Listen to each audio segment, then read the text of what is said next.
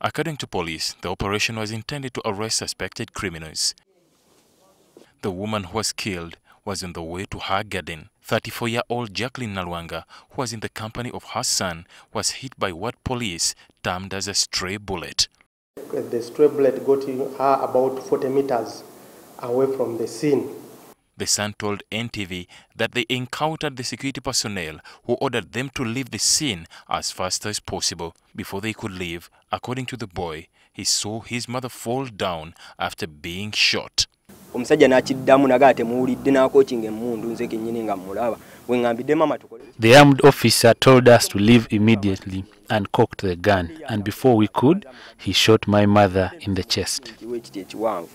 Kiwa ekiti ekiwanvu kwe kuba essasi kuba abadde anaatera n'obbulira essasi limukutte wano nga mu kifuba. Was going to the swamp to plant some yams, but when